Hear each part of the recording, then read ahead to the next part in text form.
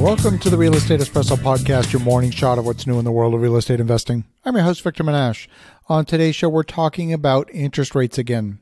Yesterday, the Federal Reserve announced another quarter point drop in the benchmark lending rate. A number of listeners are wondering what the Fed rate has to do with everyday lending rates. Some consumer credit card rates have actually increased in recent months at a time when the Fed rate was falling.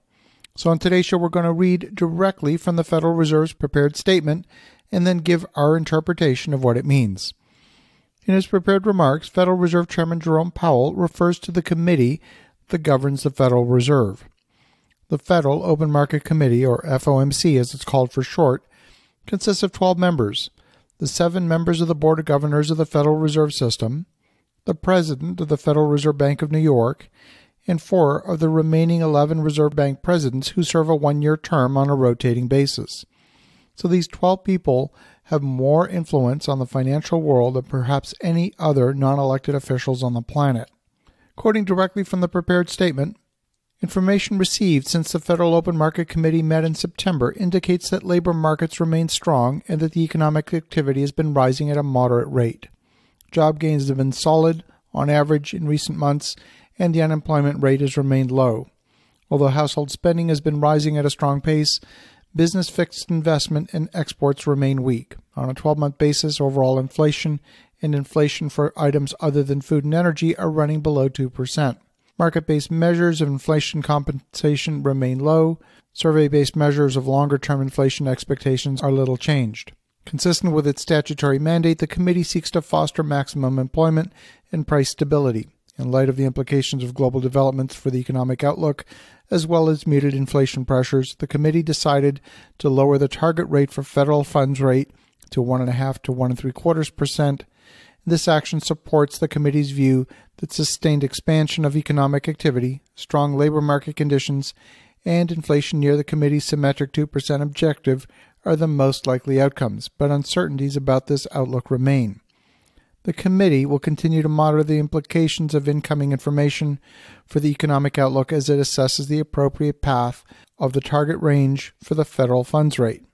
In determining the timing and size of future adjustments to the target range for the federal funds rate, the committee will assess realized and expected economic conditions relative to its maximum employment objective and its symmetric 2% inflation objective. This assessment will take into account a wide range of information, including measures of labor market conditions, indicators of inflation pressures, and inflation expectations, and readings on financial and international developments. Wow, so there's a lot of stuff in here. What does it all mean? It means, first and foremost, that the Federal Reserve wants to see inflation. Not that it really wants to devalue the currency, but certainly the federal government wants to devalue the currency. It's a way of taxing the population without the population really noticing. And 2% is the number that they've targeted as being the perfect number. It's enough to devalue the currency, but it's not painful enough for the population to rise up and protest against the falling value. In my view, we can expect interest rates to remain low for some time to come. While there's been stimulus in the economy since the summer, it's not uniform. We're seeing increased demand in real estate, which is sensitive to interest rates, and real estate refinance activity in July and August was up 75% compared with June. Manufacturing numbers are down, and some are blaming it on the trade negotiations, but in truth, I believe inventory numbers are the real reason. We're seeing troubles in several sectors, including the automotive sector. When I drive past car dealerships, whether it's in rural upstate New York or in the core of a major city, the dealership lots are absolutely bursting at the seams with inventory. I haven't seen dealer lots this jammed with inventory in a long, long time. I've seen manufacturers offering very aggressive deals in order to move product off the lots. So, back to real estate. As a real estate investor, your borrowing cost is usually tied to one of two indexes. Most short term loans, like home equity lines of credit and other revolving credit lines in real estate, are tied to something called LIBOR. This is the London Interbank Overnight Rate. That's the lending rate that banks use to pay for money that's stuck between accounts on an overnight basis. It's short term lending, and therefore short term variable interest rate loans are often tied to an offset from the LIBOR rate. Long term lending rates for permanent financing tend to be indexed to the 10 year U.S. Treasury bill. So if you're looking for long term permanent financing, whether it's conventional or an insured non recourse loan, whether it's through one of the agencies like Fannie Mae or Freddie Mac, or something that is mortgage insured by HUD, that is the U.S. Department of Housing and Urban Development, the U.S. 10 year Treasury bill is the benchmark. If the T bill yield goes up, then your rate's going to go up. If the T bill yield goes down, your rate is going to fall.